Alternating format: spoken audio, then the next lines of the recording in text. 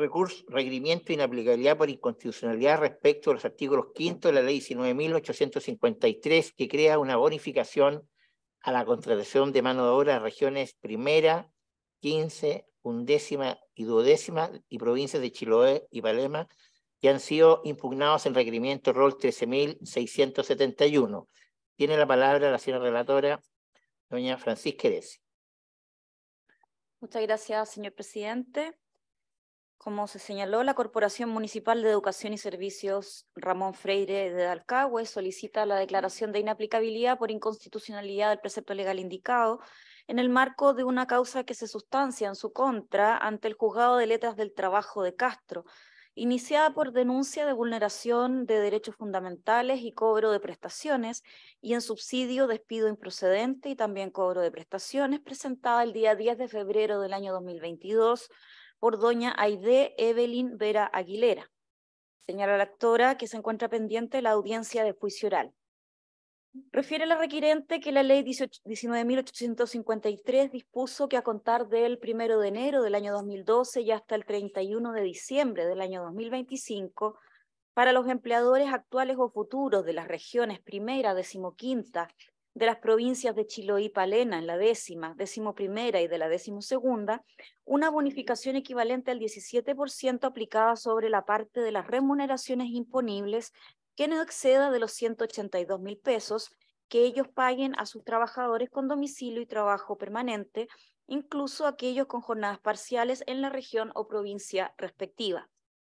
Como conflicto constitucional, la actora alega que las disposiciones legales cuestionadas importan, en primer lugar, una infracción al derecho a la igualdad ante la ley consagrado en el numeral segundo del artículo 19 de la Carta Política. Señala que su parte no discute en abstracto la legitimidad del fin perseguido por el legislador al establecer la sanción contenida en el artículo quinto de la Ley 19.853, pues indica que exigir a los empleadores una conducta respetuosa de los derechos fundamentales de sus trabajadores es un fin legítimo. Sin embargo, enfatiza que las medidas adoptadas por el legislador deben también ser idóneas, necesarias y proporcionales, requisitos que no se dan en la presente causa indica que el proceso seguido en su contra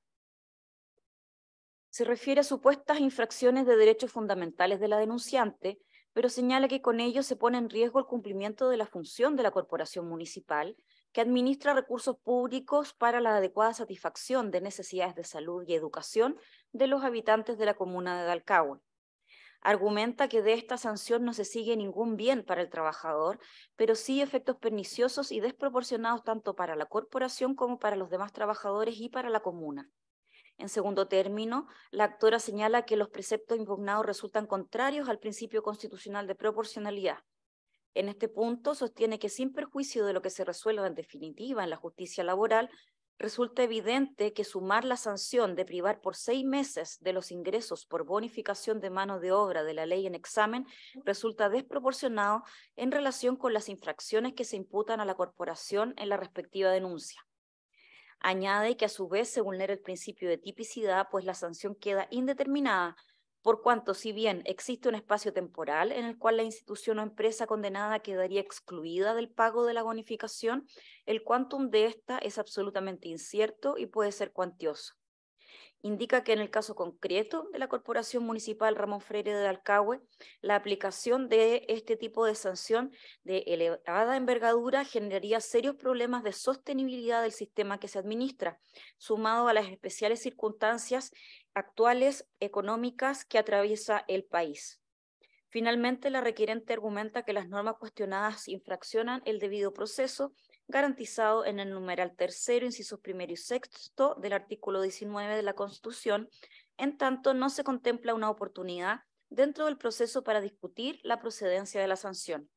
Señala que eh, esta sanción hace automáticamente aplicable el quedar exento del bono señalado estableciendo esta sanción de plano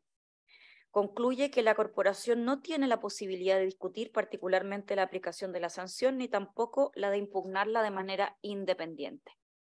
Cabe señalar que este requerimiento fue admitido a trámite por la segunda sala de esta magistratura el día 27 de septiembre del año 2022 y se dispuso la suspensión del procedimiento.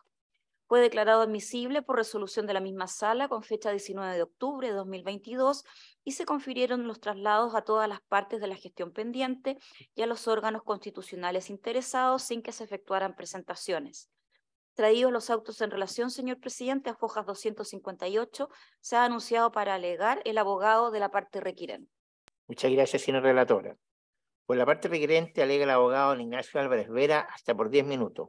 Puede alegar, señor abogado. Muchas gracias, señor presidente.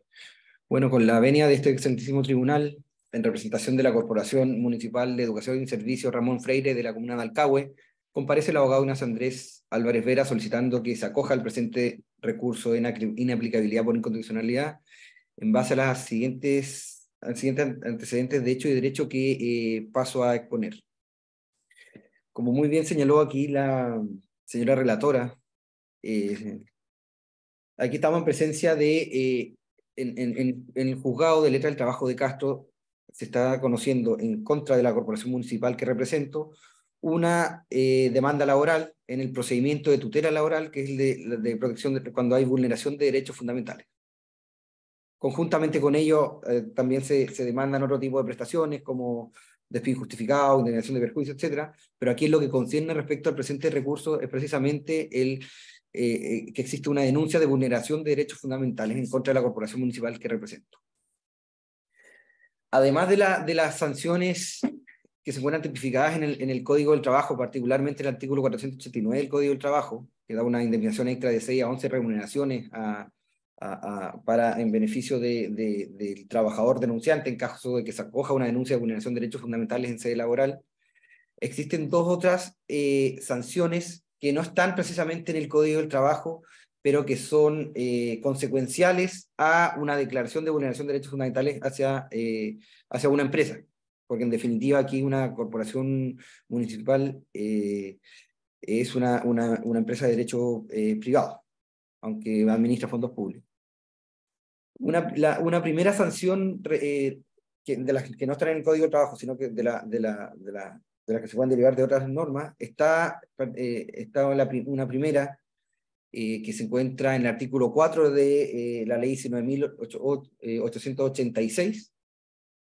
donde aquellas empresas que, se que han sido condenadas de vulnerar derechos fundamentales de trabajadores, se les genera una imposibilidad de poder contratar o participar en licitaciones públicas por el plazo de dos años es como una primera sanción. Y otra sanción adicional a, la al, consecuencial a la declaración de, de, vulneración de derechos fundamentales de una empresa es la que se encuentra establecida precisamente en la norma aquí que se está solicitando la inaplicabilidad por incondicionalidad, que es la del artículo quinto de la ley 1853, que se encuentra también vinculada con el inciso final del artículo 495 del eh, Código del Trabajo, la cual eh, que si bien ya fue eh, referida aquí por, por la señora relatora, en definitiva, aquí eh, lo, lo, que se produce a consecuencia de declararse la vulneración de derechos fundamentales por parte de una empresa es que, eh, particularmente aquí en la zona de, de, Chiloé, se pierde lo que es la devolución de mano de obra, que es un concepto dinerario, un 17% de la remuneración imponible, no superior a 180 mil pesos, que, como bien señaló la señora relatora, lo cual, eh, entendiendo que una corporación municipal administra tanto lo que es la educación, la salud y también la atención al menor, lo que son los jardines infantiles en, una comuna,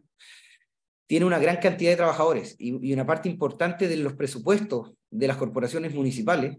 principalmente acá en Chiloé, que de las 10 comunas hay 9 comunas que tienen eh, corporación municipal, solamente una tiene DAEM, eh, una parte fundamental del presupuesto de las corporaciones municipales es precisamente esta, este beneficio eh, fiscal, que podríamos decir, por tratarse de una zona extrema como lo es Chiloé, que es la evaluación de mano de obra que eh, particularmente en, en la, en la, para la corporación municipal que represento, por estos seis meses, si quedase inhabilitado y si hiciera aplicable el artículo quinto de la ley 1853,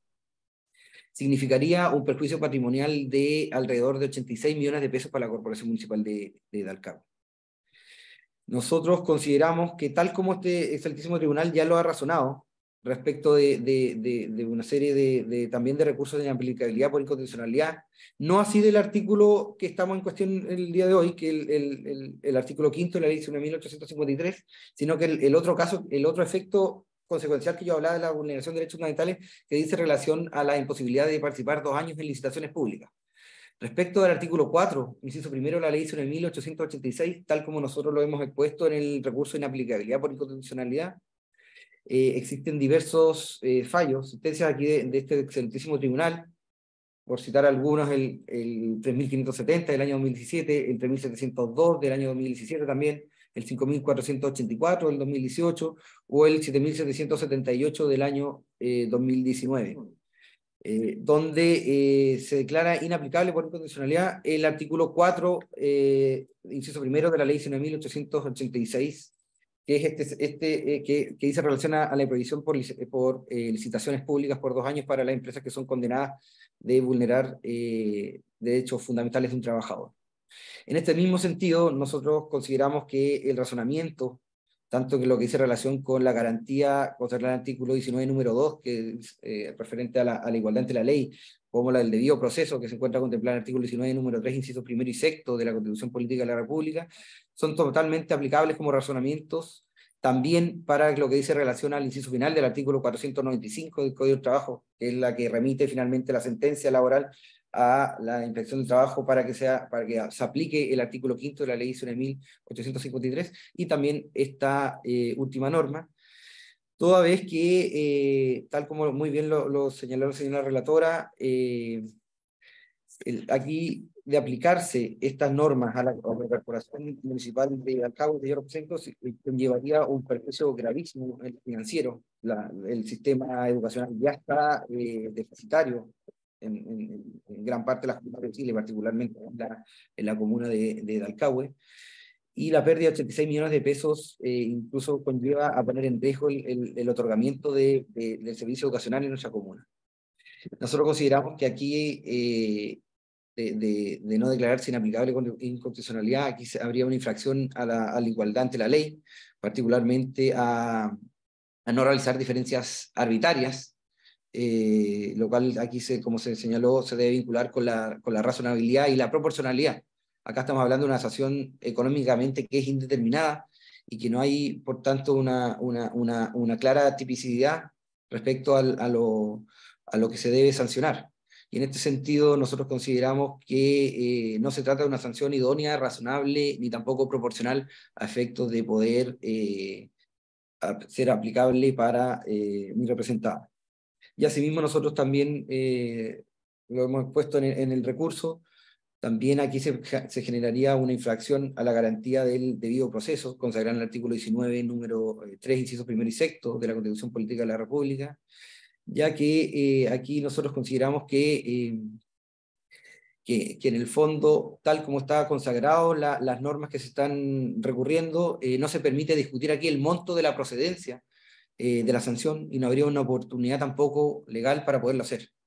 Es por ello que nosotros, en, utilizando también el, razonamiento como jurisprudencia, lo que ha resuelto este excelentísimo tribunal, particularmente entre, lo, entre, la, entre las causas que, que cité hace un, un momento y que se encuentran también citadas en, en, el, en el cuerpo del escrito, particularmente la, la causa rol 7778 del año 2019, hace referencia precisamente a, a, a, la falta de oportunidad, particularmente en lo que era aplicable respecto al, al artículo 4 de inciso primero de la ley 1886, que nosotros entendemos que también podría ser aplicable en este caso. Es por todo lo anterior, eh, señorías, que, eh, que solicito que se declare que el inciso final del artículo 495 del Código del Trabajo y el artículo quinto de la ley 9853 eh, son contrarios a, a, las garantías constitucionales de eh, igualdad ante la ley y el debido proceso establecido en el artículo 19 número 2 y 19 número 3 eh, respectivamente de la Constitución Política de la República y por lo tanto se declaren que son inaplicables en, en el caso. Eso sería. Gracias, señor abogado. Señora ministra, señor ministro, preguntas que formular al abogado. No siendo así, terminada la vista de la causa. Que tenga buen día, señor abogado. Muchas gracias.